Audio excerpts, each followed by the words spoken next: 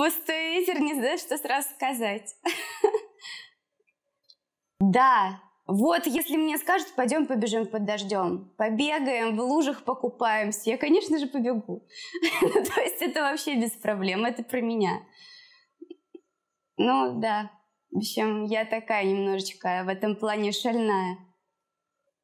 Начинаем? Привет, меня зовут Янина Ярманова. На данный момент я студентка ГИТИСа, мастерская Нины Владимировны Чусовой. Но ну, это произошло, наверное, лет в 15.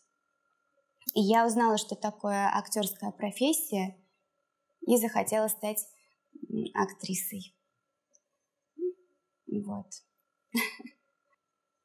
Я уже много раз сама себе лично отвечала на этот вопрос, и да, я готова оставить такой след в своей личной истории, это здорово.